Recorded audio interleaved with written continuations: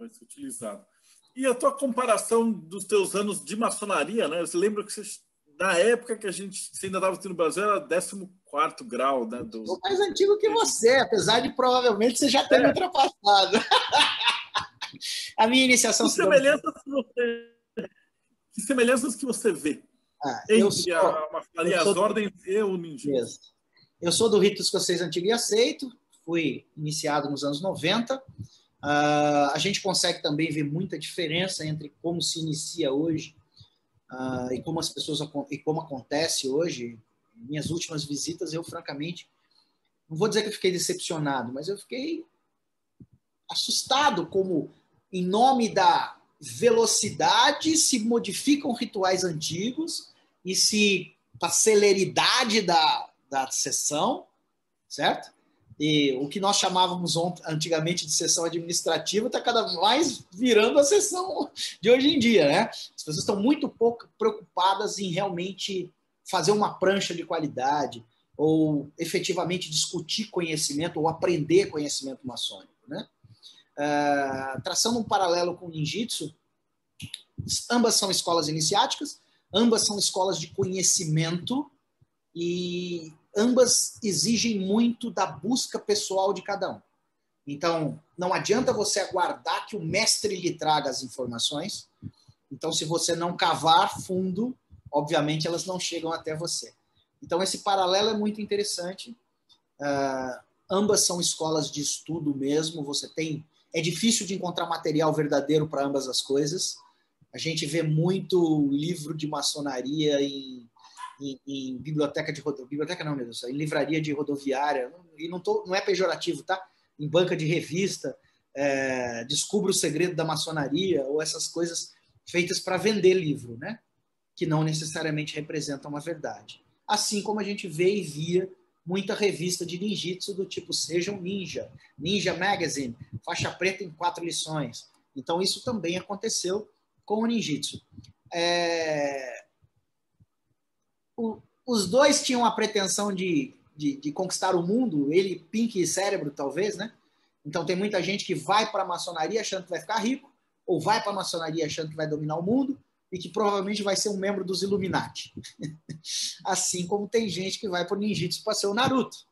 Então, essas pessoas acho que não passam é, para o grau. Se, se chegarem a companheiro, talvez não cheguem a mestre. Ou se chegarem a mestre, com certeza não entrarão numa escola, numa, numa, numa filosófica. Mas eu acredito que a mesma coisa acontece no ninjitsu, porque também existe um caminho extremamente cansativo, doloroso, é, que exige mais do que a simples prática física é, e que também é iniciático. Então, nós temos ali 1% chegando até a faixa preta, então a cada 100 é, nós, principalmente no Ninjitsu Shokumoryu, nós temos cores e graduações de, de, faixa, né? Então nós temos 20 estágios.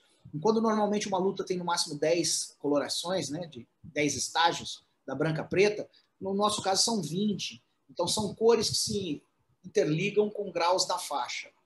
Isso acaba então criando uma necessidade de treinamento constante e de passar por provas cada vez mais difíceis.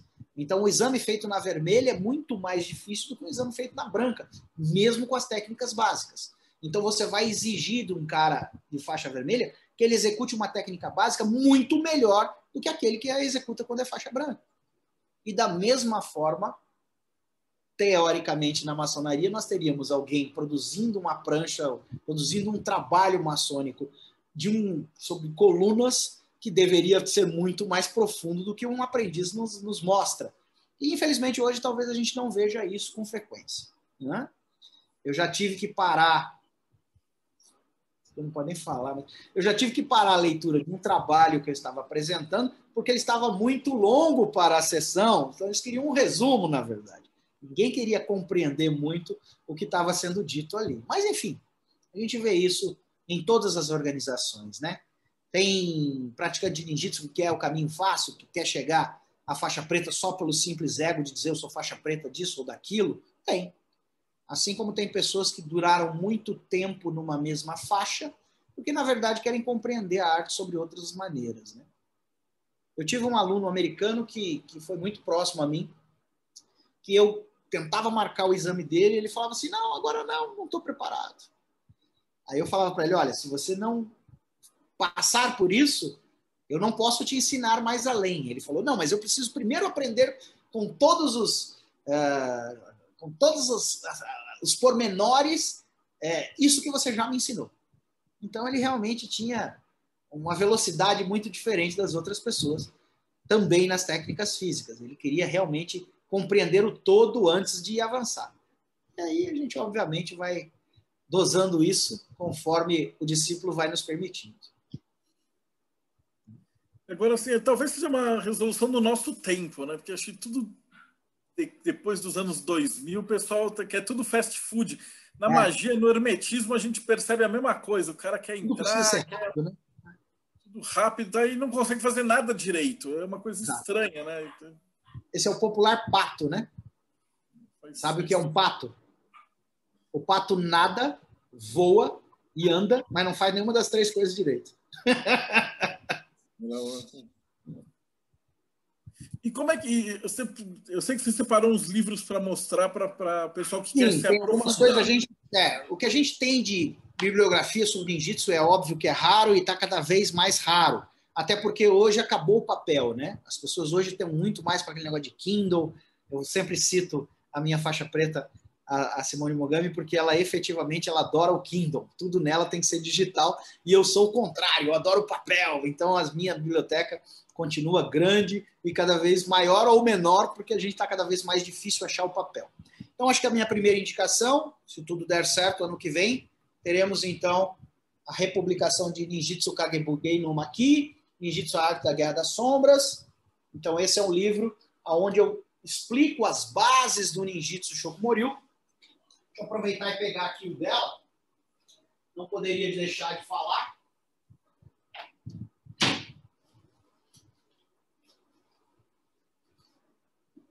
Então o livro dela é Kunoichi Ona Ninja. Então é Kunoichi, a mulher ninja, ela fala sobre os aspectos femininos do ninjitsu, ou seja, como o ninjitsu era treinado e usado pelas mulheres. Um trabalho excepcional e ímpar, porque você não vai ver esse trabalho em outros países do mundo. Muito pouco se escreve sobre Kunoichi Jitsu justamente pela falta de conhecimento. Então, é, é um mergulho efetivamente na visão feminina da arte marcial. Eu recomendo esse livro para todo mundo. Bom, esse é o Banzen Shukai, é um texto clássico, é, escrito em linguagem antiga japonesa, mesclada com algumas coisas é, em chinês, obviamente. Você só vai encontrar isso em inglês. Um trabalho excepcional feito pelo Anthony Cummins, que tem é um pesquisador britânico, que, que tem um trabalho excepcional uh, na investigação das artes marciais japonesas, inclusive do ninjitsu. Então eu tenho acompanhado ele. é um cara meio polêmico, porque ele tem uma teoria de que o ninjitsu já morreu e que não existe mais em lugar nenhum do mundo, uh, por conta das características históricas do ninjitsu. Então a gente tem aqui não só a utilização de códigos secretos do ninjitsu, então é muito interessante, porque quando a gente vê sobre isso, você lembra do Manual do Escoteiro Mirim? Uhum. Manual do Espião, que fazia aqueles códigos bem infantilzinhos, assim? Então não deixa de ser. Quando você olha um código do século XVII, do século XVI, não necessariamente ele é um código tão rebuscado, né? Muitas vezes ele é um código muito simples, mas se você não tem a chave, você não consegue quebrá-lo. É, então isso é muito interessante do Ninja. Ele vai sempre pelo lado mais fácil mais simples, que te dê uma resolução nas coisas com mais velocidade nesse sentido. Uh, isso aqui é um trabalho do século XIX e ele fala justamente sobre o lado esotérico do ninjitsu, tá? Que é escrito por Doshi Shigetsu. Então vai do senjitsu ao ninjitsu, senjitsu to ninjitsu. Ele fala sobre a parte do ascetismo, que tem muito a ver com o que nós chamamos de shugendo, que são os monges ascetas, é, também conhecidos como Yamabushi. Então, são aqueles monges da montanha. E a vinculação do ninjitsu com os Yamabushi é justamente nessas disciplinas mais uh, de domínio mental sobre o corpo físico. Então, esse é um dos testes pelos quais eu preciso passar, né? E, entre outras coisas, é estar pendurado por uma corda pelos pés numa montanha. Então, atravessar uh, uma fogueira, né? Com brasas incandescentes, ou meditar numa cachoeira gelada, até quase a hipotermia. Então, todas essas questões de vencer barreiras físicas estão muito relacionadas, a, até uma certa forma xamânica, de como o ninja antigo entendia o universo e a natureza ao seu redor. Então, muito do, do que se chama de magia do ninjitsu vai ter um pouco de similaridade com questões druídicas quando você observa a forma como eles enxergam a natureza e a forma como o ninja é capaz de se ambientar, de se mesclar com a natureza. E é essa vantagem que ele tem. Então é óbvio que o ninja não faz assim e desaparece. É óbvio que não. Ele precisa, como o mágico, criar uma ilusão aqui para fazer surgir algo aqui. Então, basicamente, as técnicas estão relacionadas a como você enxerga o seu meio ambiente e como você consegue se mesclar a ele para iludir alguém. Né? E essas técnicas elas estão cada vez mais escassas, né? Porque o cara ainda Sim. vai treinar em academia. Né? Sim. Então a pergunta do Jonatas, que ele fala assim: como é que você enxerga mesmo essa relação da morte do ninjutsu?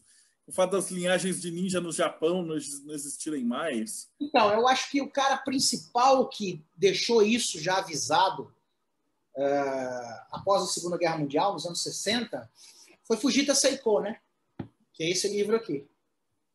Né? Que fala justamente sobre Dororon Saigo no Ninja e esse livro explica justamente esse, o porquê é, Kogaryu Ninja Ichidaiki, que é o trabalho em que ele deixa claro o porquê, entre outras coisas, que o ninjitsu morreria. Então ele já deixava isso avisado, né?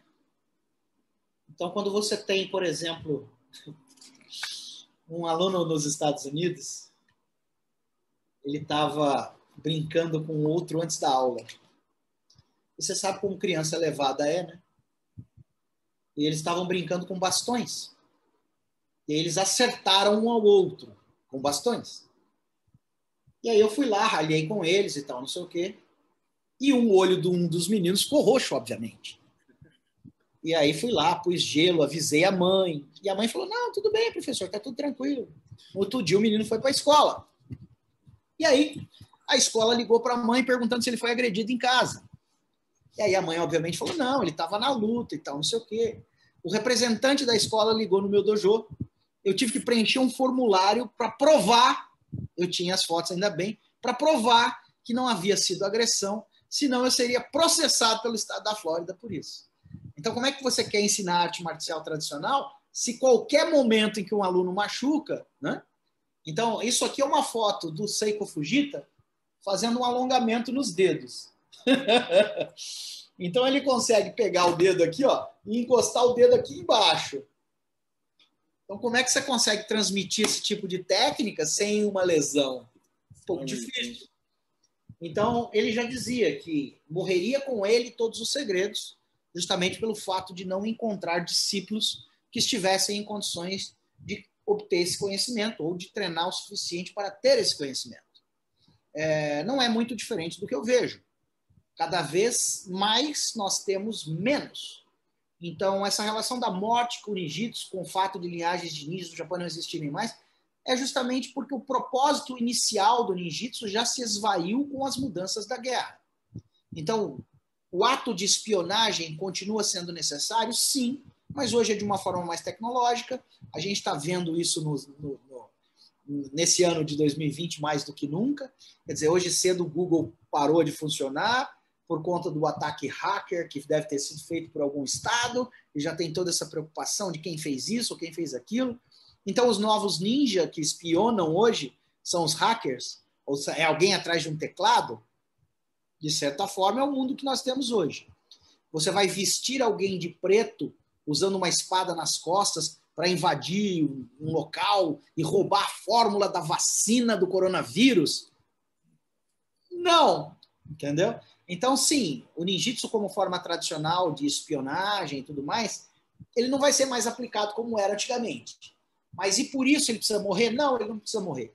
Porque a gente tem técnicas hoje que, existe, que nós podemos treinar com outro propósito. Então, quando eu ensino a subir uma árvore, quando eu ensino a subir um muro, é, eu uso isso como um instrumento de superação, eu uso isso como uma técnica física para deixar a pessoa é, mais afiada nas suas habilidades de coordenação motora. Sim, eu posso mudar o objetivo final da técnica e manter a tradicionalidade daquela transmissão. Eu acho que é isso, é uma coisa que o Chico Moril faz com muita presteza. Então, nós continuamos mantendo o nome daquilo, nós continuamos mostrando as raízes, as tradições, por que surgiu aquilo, qual é o objetivo daquela técnica. Eu acho que isso é o mais importante.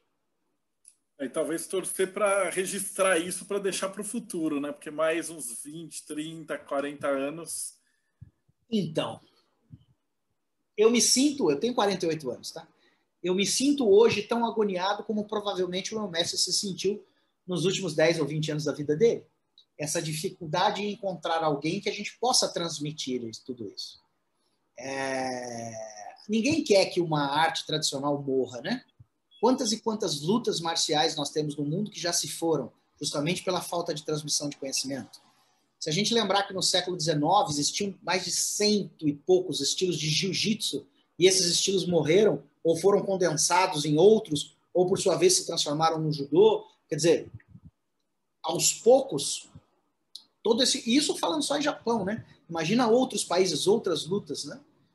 Uh, o próprio boxe o quanto do boxe do século XIX não existe hoje no, na luta esportiva boxe que se vê, seja nas Olimpíadas, seja é, no boxe profissional americano, enfim. Então a nobre arte não é mais a mesma coisa.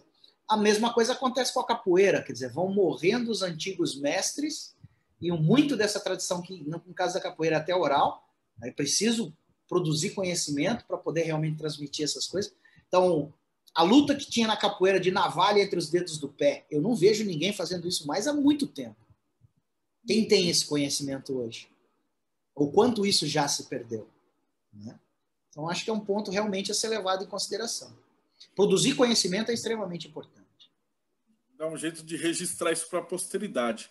Bom, eu queria também, a última coisa, pedir os links o pessoal que ficou com curiosidade dos livros e tal. Aí você me fala os links e você que está assistindo no YouTube, não esquece, os links estão aqui na descrição do vídeo. Ok? Vou enviar os links. Se eu escrevi um texto citando essas dificuldades de transmissão, eu escrevi um texto a esse respeito que se chama Arte Marcial Tradicional Não Deve Morrer, para a revista Combat Sport, nos anos 90. Depois disso, não falei mais a respeito do assunto, pelo menos em publicações. No meu livro, não, eu não falo sobre isso. O meu livro se propõe justamente a explicar o ninjitsu da forma histórico tradicional. O Miller, brigadão de coração. Eu vou só é. despedir do pessoal daqui, depois eu vou abrir as, os áudios aqui para a galera te fazer pergunta, mas valeu mesmo. É, é muito engraçado como essa, essa, passagem dessas artes tradicionais tem a ver demais com as escolas antigas de esoterismo, né? onde o cara realmente tinha que sentar e estudar e tal, e o mundo está ficando mais, mais frouxo, né? o pessoal está com preguiça, todo mundo quer McDonald's, tudo. E a última pergunta de todas, para a gente fechar, que conselho que você daria para um cara que está chegando agora, seja numa arte marcial, seja num treino da vida ou numa ordem iniciática? Tenha sede. Tenha sede de conhecimento. Beba o quanto você puder da fonte. Então, busque verdadeiramente a resposta aos seus questionamentos. Então, quando você busca, é, se você não encontrou naquele lugar, com certeza procure outro que você vai achar. Eu acho que é, nunca deixe de questionar, nunca deixe de buscar uh, as informações daquilo que você deseja. Gostou de alguma coisa? Vá a fundo aprender sobre aquilo. Eu acho que isso é, é a trilha para alguns é mais curta do que para outros, mas para quem tiver a oportunidade de, de ter uma trilha longa, todo dia é dia de aprender uma coisa nova, todo dia é dia de se descobrir um pouco mais sobre aquilo que se ama, aquilo que se gosta e aquilo que te faz bem. Maravilhoso. Então, com isso a gente fecha o bate-papo de hoje. Para você que chegou pela metade, não esquece, dá o like, segue o canal e dá uma espiada que tem pelo menos mais 100 entrevistas aqui no canal. Então a gente fica por aqui hoje e até o próximo bate-papo Mayhem.